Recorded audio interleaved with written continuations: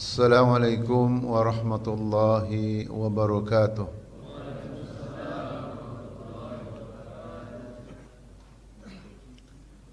الحمد لله الذي شرفنا بالجهاد وتضحية. والصلاة والسلام على رسول الله مربي هذه الأمة. وعلى آله وصحبه ومن والاه. أما بعد فقال الله عز وجل في كتاب الكريم ولو أن كتبنا عليهم أن يقتلوا أنفسكم أو اخرجوا من دياركم ما فعلوه إلا قليل منهم ولو أنهم فعلوا ما يوعظون به لكان خيرا لهم وأشد تثبيتا. وإذا لآتيناهم من لدنا أجرا عظيما ولهديناهم صراطا مستقيما. إخوة الإيمان حفظكم الله.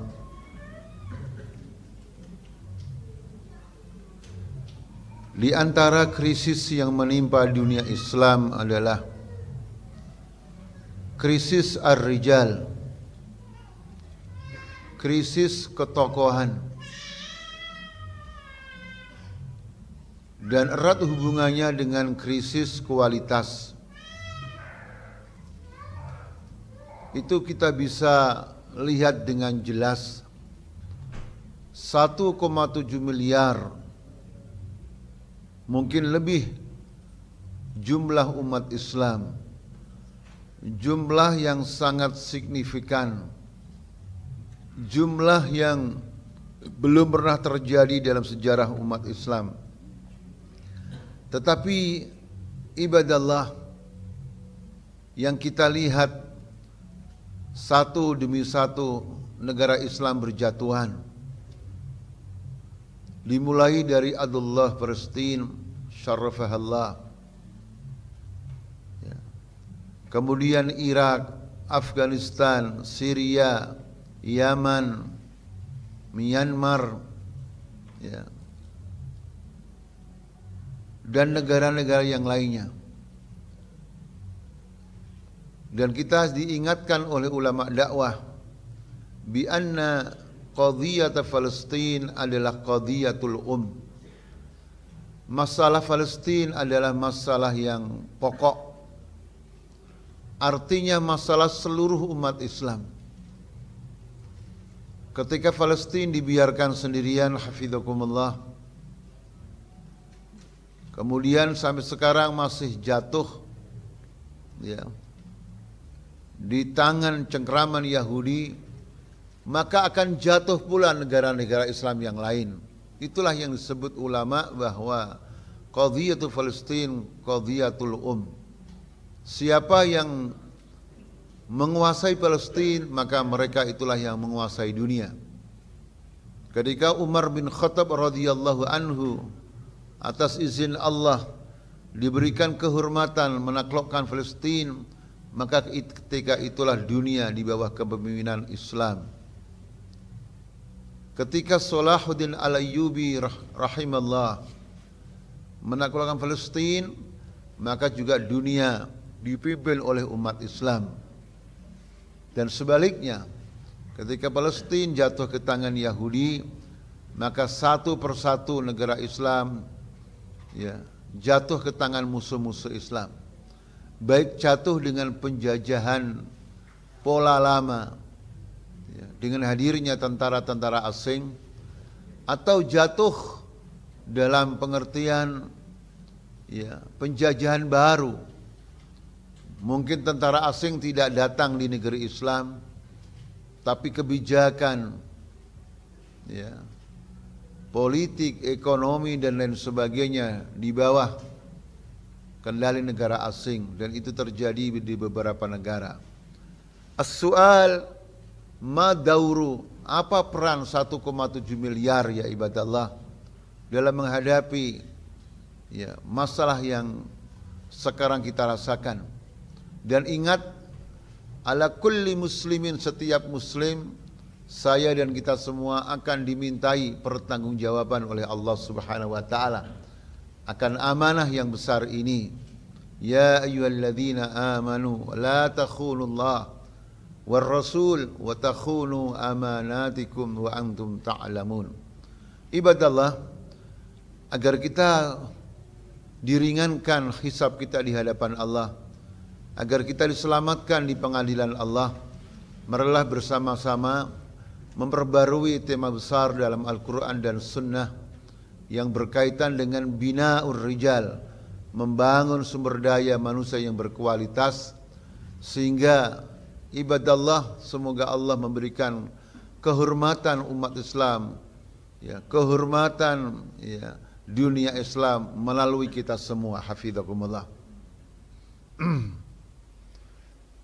Biasanya kalau ada masalah yang dihadapi umat Islam, sebagian orang yang kurang faham tentang Islam ya menunggu-nunggu siapa pemimpin kita sekarang.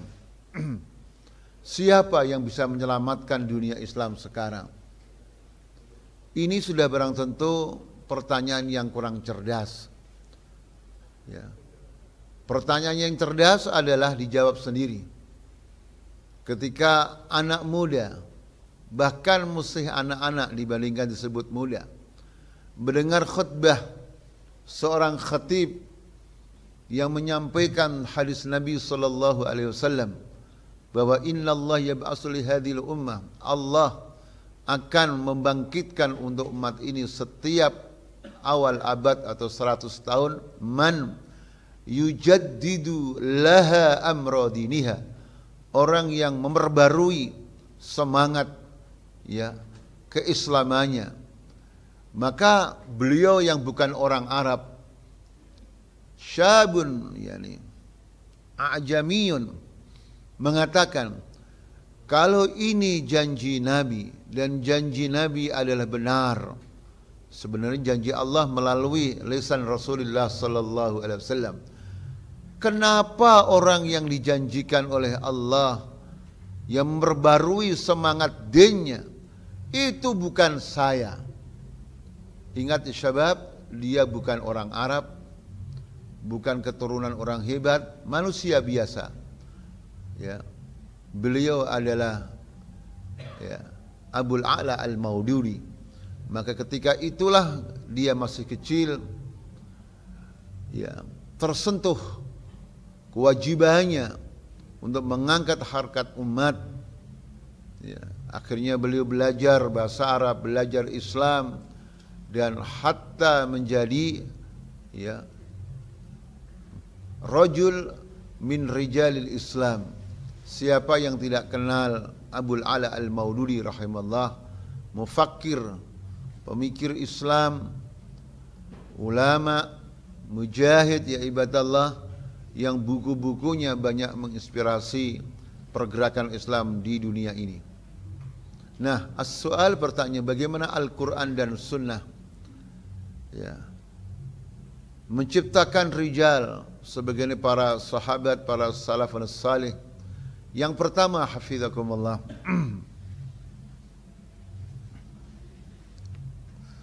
adalah melalui at-tarbiyah al-imaniyah. Tidak ada di dunia ini manusia-manusia terbaik, manusia-manusia yang berkualitas kecuali benar dalam tarbiyah imaniyahnya.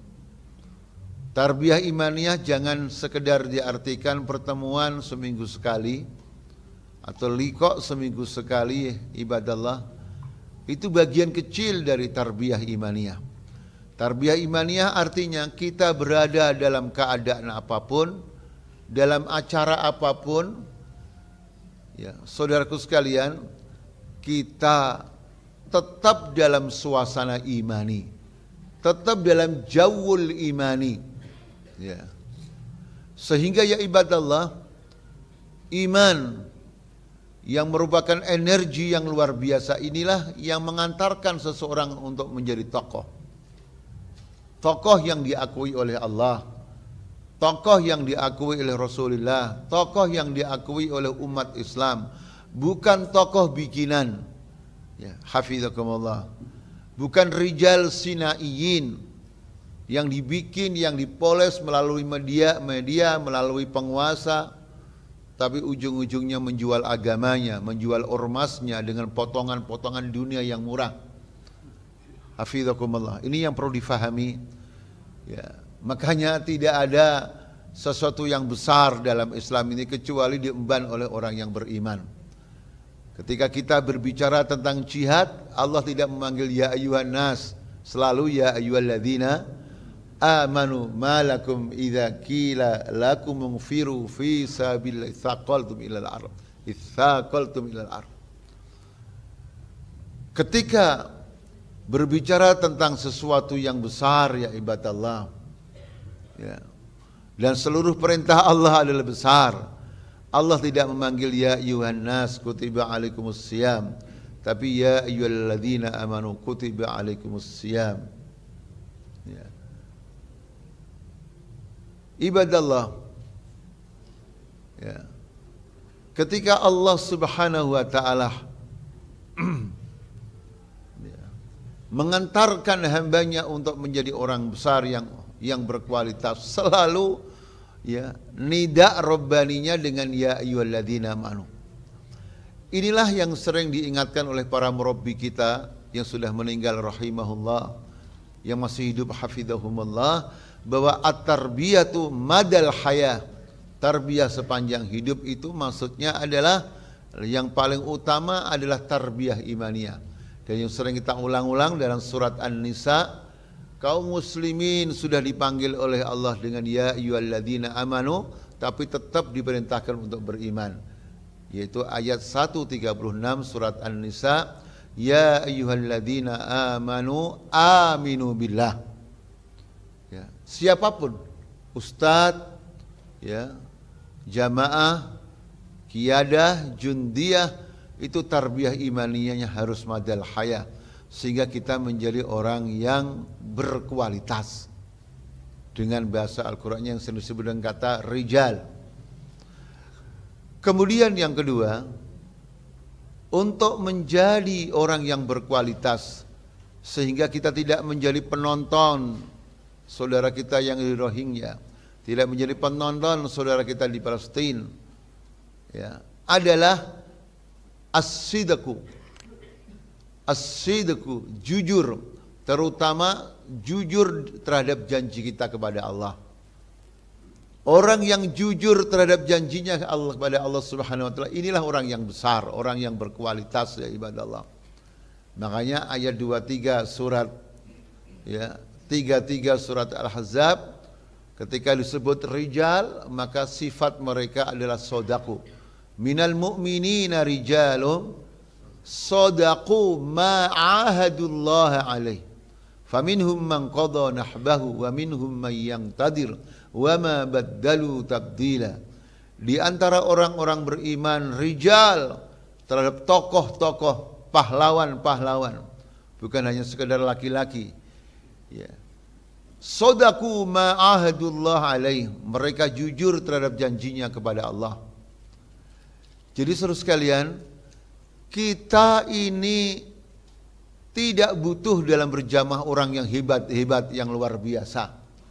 Kita butuh orang yang sederhana, tapi hum sodikuna fi imanihim. Mereka jujur dalam imannya. Sodikuna fi tarbiyatihim, jujur dalam tarbiyahnya sadiquna fi jihadihim jujur dalam jihadnya. Maka ketika Allah memerintahkan kita untuk bersama orang-orang yang jujur Allah tidak menyebutkan jer majrurnya. Ketika Allah berfirman dalam surat At-Taubah surat nomor 9 ayat 119 Ya ayyuhalladzina amanu taqullah wa kunu ma'as sadiqin. Ini kan perintah ya syabab Ya ikhwan dan perintah Allah adalah wajib aslinya. Kalau tidak ada qarinah, tidak ada konsideran, tidak ada alasan yang memalingkan dari hukum wajib. Hai orang-orang yang beriman, bertakwalah kamu kepada Allah dan kamu harus bersama orang-orang yang jujur. Dan ini mudah ya syabab. Ya ikhwan, kalau kita ditanya, ya Ustadz, partai Islam banyak, ormas Islam banyak, jamaah banyak, pertanyaannya Ustadz, kita ikut jamaah yang mana? Sebab, apakah jawabannya ya antum harus ikut partai saya? Itu jawaban ilmiah atau jawaban eh, pesan sponsor? Ya. Jawabannya kamu harus bersama orang-orang yang jujur. Ulama mengatakan kalau ada al-jar majrur tidak disebut. Kalau ada maf'ul bih tidak disebut. Itu adalah lil umum untuk umum. Atau kata ulama tafsir yang lainnya ai kullu nafsin bima dhahabat. Artinya seorang diri bisa menafsirkan ya ya lebih luas lagi. Ya. Tidak ya dibatasi oleh pemahaman tertentu. Artinya kejujuran dalam seluruh dimensi kehidupan, terutama jujur dalam iman kita, akidah kita. Tidak ada khurafat, tidak ada syirik, jujur dalam ibadah kita, tidak ada bid'ah. Jujur dalam dakwah kita, tidak ada menipu antara ucapan dan perbuatan sama. Itulah ya ibadah orang yang berbobot hafizakumullah. Makanya orang yang terbobot di dunia yang paling berkualitas di dunia setelah Nabi Shallallahu Alaihi Wasallam siapa namanya? Akhi? Disebut apa? As-Siddiq, Siddiqu hadil ummah. Di saat orang ragu, di saat orang ya bingung, masa ada manusia ya, perjalanan dari Mekah sampai Palestina, Syam yang ribuan kilometer, kemudian naik ke langit, ke Sidratul Muntaha ketemu Allah turun lagi cuma satu malam. Dalam riwayat ketika Isra ini ada orang Islam yang murtad. Tapi apa komentar Abu Bakar As-Siddiq radhiyallahu anhu? Jangankan cuma itu beritanya. Kalau ada yang lebih aneh daripada itu, saya orang yang percaya kepada Rasulullah SAW. Kenapa? Sederhana aja, tidak terlalu pinter-pinteran. Sederhana, fitrahnya berbicara. Karena Nabi tidak pernah Akhi. Coba kalau kita lihat sekarang, jangankan orang awam. Sebagian aktivis dakwah saja, hadahumullah, semoga Allah memberikan hidayah kepada mereka dan kita semua. Kadang-kadang kalau dikasih pemahaman Quran dan Sunnah, ya akhi ini sudah Quran, ini sudah Sunnah. Apa katanya? Ustadz, kita ini harus real, harus real. realistis. Jadi kayaknya Quran tidak realistis. Ya. Paham sebab? Ngeyel masih. Atau menerima, menerimanya pendek tapi menolaknya panjang. Iya saat saya faham ini Quran dan Sunnah, saya faham. Iya, pakai iya aja, matobi iya. Tapi tapinya banyak, tapi Ustaz. Tapi kita ini kan berpartai, butuh dana, kita harus real. Jadi kalau sudah firman Allah dan Rasulnya, tidak ada kecuali kita jujur untuk menerimanya ya ibadah Allah. Jangan banyak akal-akalan. Akal diciptakan oleh Allah ya, dalam rangka untuk menangkap wahyu Allah bukan untuk mengkritisi wahyu. Hafizakumullah.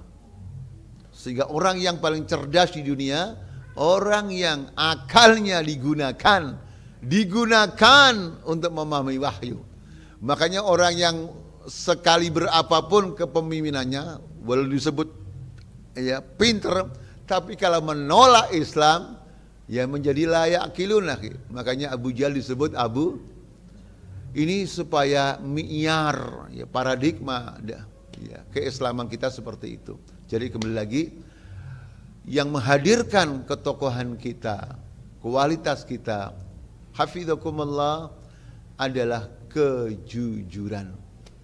Ini dua hal ini nanti sebelum kalau ada waktu ditambah lagi yang menjadikan manusia manusia yang langka yang mahal. Makanya ketika kita membaca dalam Muqaddimah saja ayat 66 Walau anna katabna surat An-Nisa walau anna kadabna alaihim aniktulu anfusakum awi khruju min diyarikum ma fa'aluhu illa illa qalilum minhum. Jadi seandainya kami wajibkan kepada mereka untuk membunuh dirinya dalam rangka jihad sudah tertentu atau keluar ya ya dari negerinya untuk hijrah. Ma fa'aluhu mereka tidak akan melaksanakan illa qalilum minhum kecuali sedikit. Karena memang di antara watak manusia walaupun mengaku beragama Islam berat ke bumi. Makanya dalam hadis riwayat Imam Ahmad bin Hanbal rahimallah dikatakan inna syaitana qa'ada. Sesungguhnya setan itu duduk menghalang-halangi orang yang beriman, orang yang berhijrah, orang yang berjihad. Ya. Di antara bahasa mereka, bahasa setan, kamu kok berjihad? Bagaimana nanti kalau kamu berjihad kamu mati, maka harta benda kamu? Hah? Kamu kok berjihad? Nanti kalau kamu mati, istri kamu? Hah? Akhi, biasanya yang segan berjihad itu istrinya jelek atau cantik, akhi? Hah?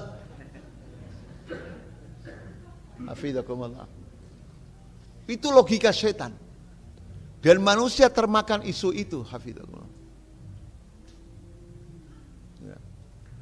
Maka suatu saat saya bercerita dari seorang ustadz senior, hafizahullah, ketika dia khutbah jujurnya tentang jihad, setelah itu dibisikin oleh jamaah, Ustadz, Ustadz sudah kaya, sudah terkenal kok ceramahnya jihad. Nanti kalau Ustadz mati gimana? Ini jelimaan dari apa? Hmm? Padahal baru sholat, baru sholat Jumat tadi.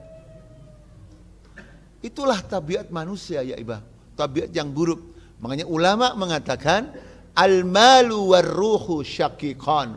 Harta dan nyawa itu saudara kandung. Sama-sama pelitnya manusia. Pelit takut mati sampai dengan takut uangnya habis. Makanya hafizakumullah, orang yang seperti itu sedikit. Di dalam mengomentari ayat ini, dan tafsir yang paling benar setelah tafsirul Quran bil Quran adalah tafsirul Quran bis sunnah.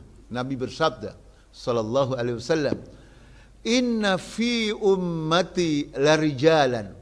Di bahasa larijalan akhirnya jadi jadi isimnya inna muakhar supaya tidak salah. Ya. Inna fi ummati larijalan. Ya. Al-imanu fi kulubihim ya, asbatu minar ruwasi. Sesungguhnya di antara umatku terdapat rijal, tokoh-tokoh, orang-orang hebat. Di mana oh, kehebatan mereka itu? keimanan yang ada di hati sanubari mereka itu lebih kokoh, lebih tegar, lebih kuat dari gunung. Akhi. Masya Allah. Dan sempat Nabi menyebut nama di antara beliau. Disebut di antaranya, di antara mereka adalah Abdullah ibnu Ruwahah. Kemudian diteruskan dengan tradisi baik oleh salafun saleh. Umar bin Khattab radhiyallahu anhu suatu saat bertemu dengan sahabat-sahabatnya, teman-temannya seperti kita ngumpul begini. Ketika itu dalam kondisi sulit, kondisi mau berjuang tapi krisis. Akhi, ditanya satu persatu. Wahai saudaraku, kalau di antara antum atau dari kita ini berdoa, minta kepada Allah dan langsung dikabulkan Allah, kamu minta apa? Akhi, kalau kita ini mau nyaki ya, lagi kumpul, sementara lagi ada pilkada wa ma adraka ma pilkada atau pilgub setelah itu. Dan kita lagi krisis nggak punya uang kalau ditanya murabi kita, ya syabab, antum kalau saat ini berdoa dikabulkan, minta apa? Apa rata-rata kita minta, minta kita Hah? Iya kan?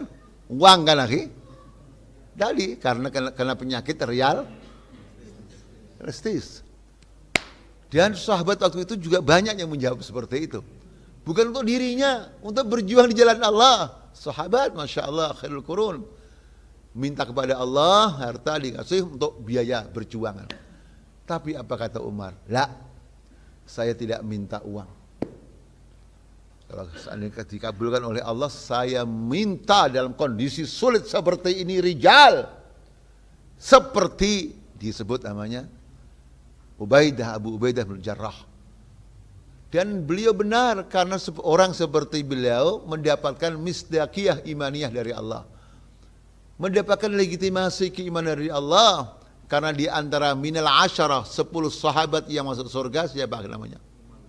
Abu Ubaidah tadi. Abu Ubaidah selain Umar bin Khattab sudah itu.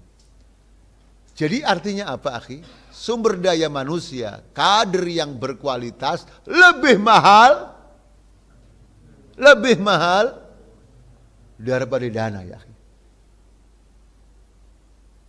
Ini yang harus kita fahami. Ya. Sehingga menjadi tokoh yang luar biasa, yang diabadikan dalam Quran, walaupun namanya tidak disebut, tapi kita mengetahui dari sababun nuzul Makanya ulama tafsir mengatakan ma'rifatu sababin nuzuli tusa'idu ala fahmi ma'anil Quran. Mengetahui ya sebab turunnya ayat itu membantu kita untuk memahami makna-makna Al-Quran ya ibadah Allah. Kemudian yang ketiga hafizakumullah Bagaimana membangun ketokohan kita, militansi kita ya ibadah Allah. Semoga Allah memudahkan dan mencatat kita menjadi hamba-hamba yang berkualitas, punya kontribusi atas kemerdekaan Palestina, punya kontribusi real ya terhadap kemerdekaan saudara kita, ya kebebasan saudara kita Rohingya dan lain sebagainya. Hafizakumullah punya kontribusi terhadap kemenangan umat Islam di bumi Allah Indonesia yang kita cintai karena Allah Ya, bukan sekedar penonton, bukan sekedar intima kita berafiliasi dengan jamaah setelah itu bangga, lah. Tapi kita benar-benar punya kontribusi hafizakumullah. Maka yang ketiga adalah dengan membangkitkan semangat tanafus fil khair. Ruhut tanafus fil khairat atau atil khairat. Semangat berlomba di dalam ya memproduksi kebaikan-kebaikan. Dan itu kita tidak ngarang-ngarang. Di antara dalilnya adalah wa fi dzalika falyatana dalam sirah nabawiyahnya adalah sahabat berlomba-lomba. Kita tahu semua ya ketika muhajirin hijrah ya ke Madinah apa yang terjadi? jumlah muhajirin lebih sedikit daripada jumlah al-angsar. Sementara angsor maunya menyervis semuanya. Maunya adalah membantu saudaranya yang hijrah ke Madinah itu. Tetapi karena mereka banyak, muhajirin sedikit. Apa akhirnya? Mereka berlomba-lomba sampai diun, diundi.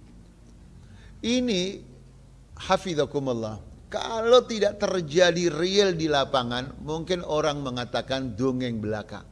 Tapi karena ini juga dikisahkan oleh Al-Quran, ya, maka Al-Quran semuanya hak. Jadi diabadikan di antara, walaupun enggak satu-satunya ayat, di antaranya dalam surat Al-Hashr. Hafizakumullah walladzina tabawa uddar wal iman. Min qablihim yuhibbuna man hajara ilaihim wala yajiduna fi sudurihim hajatan mimma utu wa yu'thiruna ala anfusihim walau kana bihim khasasa. wa may yuqassuha nafsihi faulaika humul muflihun. Ya syabab ini kalau kita cuma membaca ayat ini dan sirah nabiyah mungkin mengatakan itu kan sahabat ya ustaz. Itu kan sahabat ya akhi wa saudaraku seolah-olah tidak terjadi di zaman sekarang saya bertanya akhir ta'alimul Quran, ajaran Quran itu hanya untuk generasi sahabat atau untuk generasi sepanjang masa. Dan terjadi ya ikhwan. Di hari-hari ini dan atau sebelumnya ketika ustadz-ustadz kita, aktivis-aktivis dakwah saudara-saudara kita di penjara, sementara selimut cuma satu, ya, yang di penjara sampai lima orang. Selimutnya satu ya ikhwah. Maka mereka bergantian. Tidak ada bantal, ya, badannya siap menjadi bantal saudaranya. Hafizakumullah. Ini terjadi ya ibadah Allah. Di saat jamaah yang lainnya, di saat ormas yang lainnya rebutan kursi wa ma kursi. Dan di, di penjara rebutan makanan, rebutan pakaian. Kenapa? Sama-sama dari ormas Islam. Karena yang satu tetarbiah, yang satu tidak tetarbiah. Inilah bedanya antara orang yang tetarbiah dengan hanya orang yang mengikuti ormas Islam tetapi tidak ada tarbiyah mustamirah tidak ada tarbiyah kiadiyah sehingga hasilnya berbeda walaupun kedua-duanya sama masuk penjara ya ibadah Allah jadi rohut tanafus kita berlomba di dalam menghafal Quran kita berlomba dalam pengorbanan kita berlomba dalam ithar kita berlomba ya ibadallah dalam qiyamul lail. Kita berlomba dalam sodakoh. Itu tidak hal yang baru dalam generasi Rasulullah sallallahu alaihi wasallam. Kan kita tahu semua ya. Suatu saat Umar bin Khattab radhiyallahu anhu mengira dia akan mengalahkan Abu Bakar karena sudah membawa hartanya berapa? Separuh kan. Taunya ah, setelah itu Abu Bakar membawa Ketika saya ceramah ini saya masih ingat dikritisi orang dan orang bikin tulisan di Republika. Ini masih ingat ketika saya sampaikan tafsir maudhu'i di RCTI. Akhirnya saya diminta oleh RCTI untuk menjawab tulisan itu. Itu Ustadz mana mungkin mana mungkin ada manusia infak seluruh harta bendanya. Mana mungkin katanya. Itu Ustadz sok semangat saja. Berarti dong setelah itu Abu Bakar tidur di musola katanya. Karena ungkapan seluruh hartanya. Bayangannya dia kalau infak seluruh hartanya langsung miskin.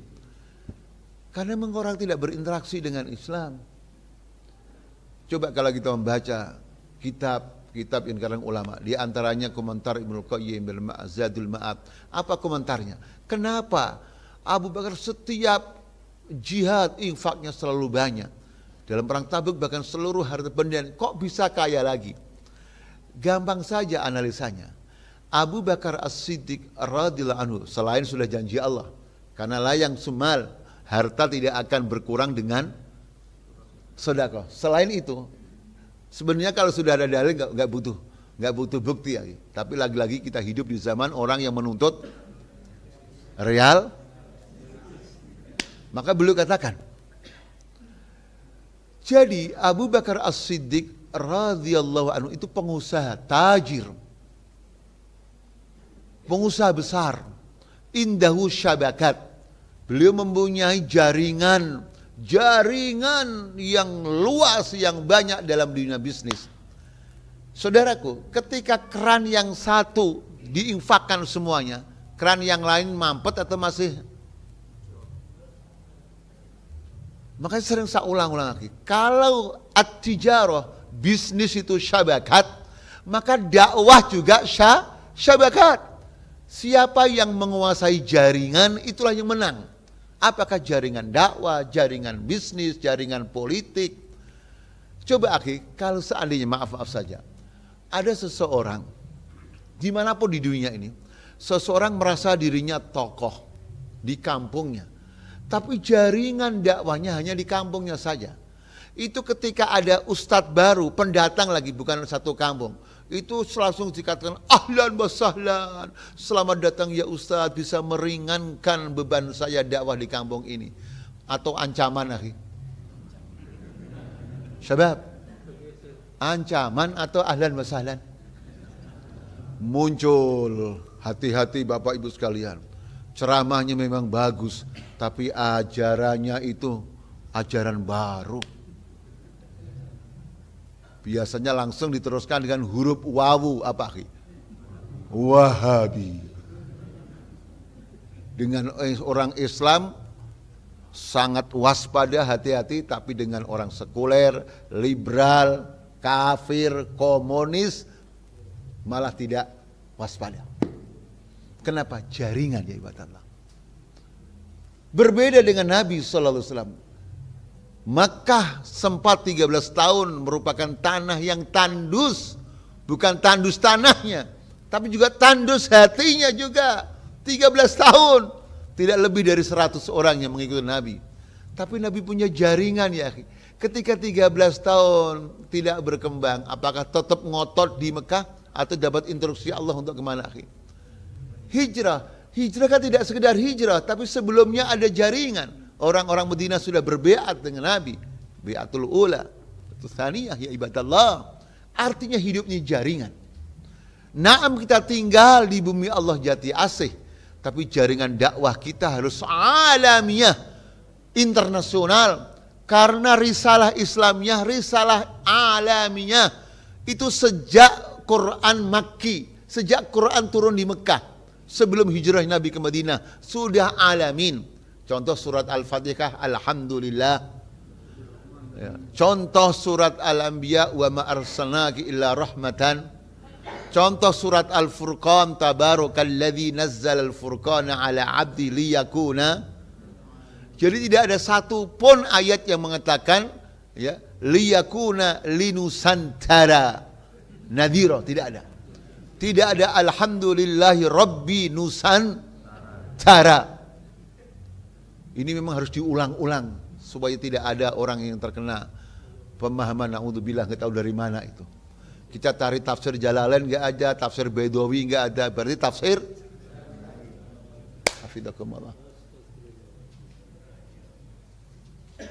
Jadi jaringan ya sahabat. Kita menyintai tetangga kita, kita menyintai kaum kita, tapi kita harus punya jaringan yang luas dalam dakwah, dalam bisnis, dalam pergaulan. Karena kita tidak tahu hati seseorang. Ada sebagian orang yang Masya Allah fitrahnya bersih. Begitu mendengar kalau Allah, kalau Rasul tidak ada kecuali menerima. Tapi ada sebagian orang, udah disampaikan kalau Allah, kalau Rasul. Itu dari mana? Kok celananya panjang ya? Jangan-jangan laisa minna. Kok jenggotnya panjang? Jangan-jangan laisa minna. Jadi bukan lihat Quran, bukan lihat sunnah yang dilihat apa akhir?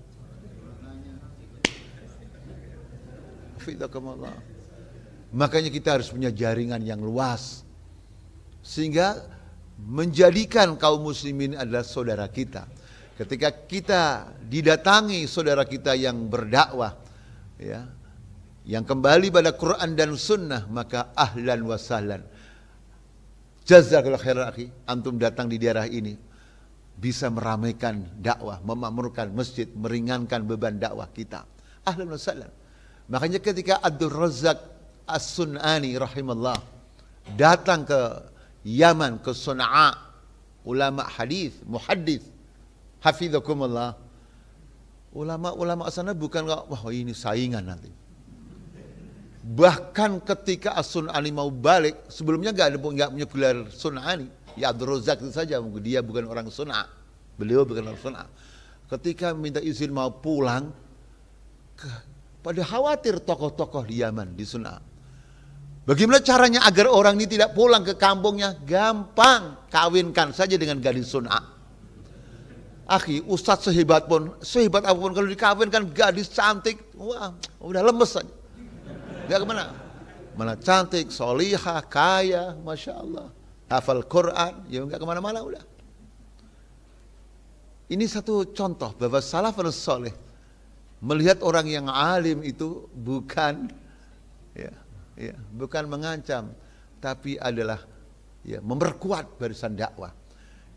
Nah ini seperti ini ya ibadallah harus selalu kita hidupkan sehingga tidak ada istilah tokoh satu dengan tokoh yang lain gesekan tapi tokoh satu dengan yang lainnya saling menguatkan. Ya syuddu ba'du ba'dan seperti bahasa Has Nabawi. Ikhwati fillah hafizahullah saya khawatir terlalu semangat sampai sini aja ya intinya peristiwa demi peristiwa Yaman, Palestina, ya, Irak, Afghanistan, ya, Rohingya dan negara yang lainnya naudzubillah Indonesia la qadar Allah kalau kita tidak menjadi orang yang berkualitas jatuh satu persatu. Makanya ulama sirah nabawiyah mengatakan kalau disebut sebuah kemenangan itu tidak cukup kemenangan lokal. Kalau disebut kemenangan dalam sejarah Islam itu kemenangan untuk seluruh umat Islam di dunia. Naam kita bangga Turki menang, tapi nggak cukup ya ikhwan. Naam kita pernah bangga Mesir menang, tapi nggak cukup. Mesir menang berapa bulan lagi? Hmm? Setelah itu diapakan? Pusat kita, aktivis dakwah kita. Karena kemenangan itu harus mendunia. Makanya ketika Madinah terkena paceklik, ya, paceklik Madinah, kotanya Rasul juga pernah paceklik, biasa. Ujian Allah yang berupa krisis itu. Tapi segera bisa diatasi. Limada? Karena belahan dunia Islam yang lainnya tidak paceklik, yaitu Mesir yang pada waktu gubernurnya adalah Amr bin As radhiyallahu anhu dikirim logistik dari Mesir secepatnya selesai. Coba kalau seandainya Indonesia krisis, minta bantuannya pada siapa? Hmm? Hah? Gratis lagi? Gratis? Nah, paham sebab? Jadi oleh karena itu hafidhakumullah ketika kita nanti mendapat kemenangan ukurannya bukan ya lokal, bukan Bekasi, bukan Jawa Barat, bukan Indonesia, tapi kemenangan untuk dunia Islam, kemenangan untuk Rohingya, kemenangan untuk Palestina, seperti yang dibuktikan saudara-saudara kita Turki. Jarak Turki dengan Rohingya berapa jauhnya? Tapi berapa ton makanan sudah datang. Jarak Turki dengan Kotor berapa lama? Kotor ketika di ya, embargo oleh saudara-saudaranya, naudzubillah secepatnya ini memahami saudara kita Turki bahwa kemenangan dia bukan hanya kemenangan Turki, tapi kemenangan untuk dunia. Ini yang harus kita pikirkan hafidhakumullah. Jadi kalau kita punya daerah sudah makmur dengan dakwahnya, kita punya masjid sudah makmur dengan jamaahnya. Yang kita pikirkan bagaimana masjid lain juga makmur. Bagaimana desa lain juga makmur. Maka sering saya sampaikan, di wilayah di mana aktivis dakwah itu banyak, jangan hanya berkumpul saja. Nanti ada gesekan-gesekan yang tidak sehat. Istrinya akh tertentu jual bakso laris, akhirnya akhwat yang satunya. Akhi, ikhwan bikin SDIT maju, ikhwan yang satunya. Akhirnya saingan sehat atau enggak ya sahabat? Maka harus ditransfer ke daerah lain ada ungkapan likulli syai'in zakatuhu. Setiap sesuatu itu ada zakatnya. Harta dia, zakatnya harta. Ilmu zakatnya jadi disampaikan. Kalau ya kader zakatnya juga ya harus taruh tempat lain lagi. Kalau ngumpul aja ya udah. Nanti lama-lama juga ada masalah. Apalagi kalau tidak punya kewajiban atau dia bukan tidak punya kewajiban, tidak sadar bahwa dia berkewajiban membina orang lain. Udah gesekan-gesekan akhirnya hafidzakumullah.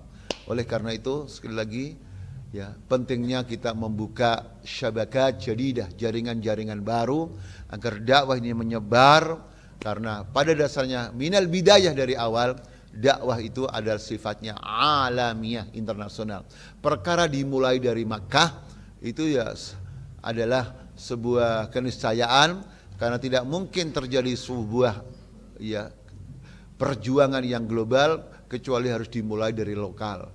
Makanya kita ingat semua di antara materi dakwah dulu adalah min khasaisi dakwah adalah al mahalliyah wal alamiyah, lokal tapi juga internasional. Lokal tidak bisa kita lupakan, maka ulama-ulama fikih sering mengatakan kalau ada jihad, maka orang yang di negara itulah yang hukumnya fardu ain. Di negara lain wajib juga, tapi fardu kifayah.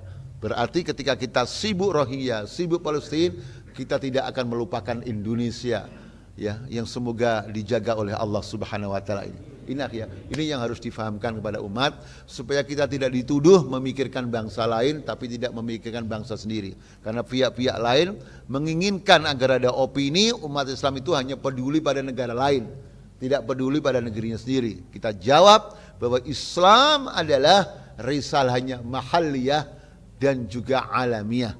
Dan yang mahaliyah adalah fardu ain karena kampungnya sendiri. Makanya dalam sarah Fathul Mu'in yang Talibin Syabab dikatakan kalau ada tentara kafir, orang kafir menduduki wilayah Islam, maka seluruh umat Islam hukumnya wajib untuk berjihad. Fardu ain. Hatta man ya, sehingga orang yang sebelumnya tidak fardu ain jadi fardu ain. Contoh, orang yang hutang kalau berjihad kan wajib minta izin kepada siapa? Yang mengutangi. Anak kalau berjihad wajib minta izin. Tapi kalau tentara kafir sudah masuk ke negerinya, saya Belanda masuk ke Indonesia, maka santri tidak wajib minta izin pada gurunya. Anak tidak wajib minta izin orang tuanya karena sudah menjadi fardu. Ini dalam kitab ya yang sering kita pelajari di pesantren yaitu syarah dari Fathul Mu'in atau disebut I'anatut Talibin. Jadi antum kalau ceramah nggak usah nyampaikan fikih-fikih yang lain, fikih yang ada saja. Nanti kalau fikih lain orang menuduh huruf wawu apa akhi? Yang kitab yang ada saja yang sudah kita baca setiap hari. Hafidzakumullah. Ini saja Hafizullah dan pengajian pada malam ini bukan untuk ditanyakan tapi untuk diamalkan saja ya. Sampai sini saja nggak usah bertanya lagi. Assalamualaikum warahmatullahi wabarakatuh.